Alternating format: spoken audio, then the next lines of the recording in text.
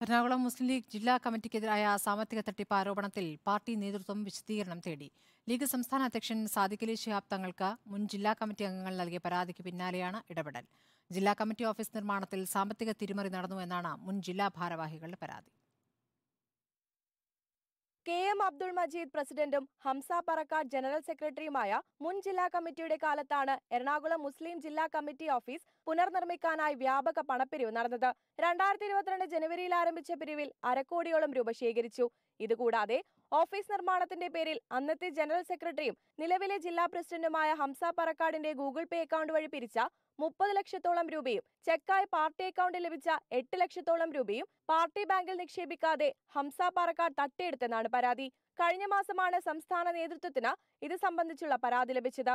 തുടർന്ന് ശേഖരിച്ച മുഴുവൻ പണത്തിന്റെയും ബാങ്ക് രേഖകൾ ഒരാഴ്ചക്കകം ഹാജരാക്കാൻ ഹംസ പറക്കാടിനോട് സംസ്ഥാന general secretary P M A Salam ആവശ്യപ്പെട്ടു.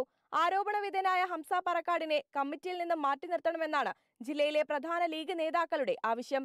സൂര്യ സുജി ഇൻ റിപ്പോർട്ടർ കൊച്ചി.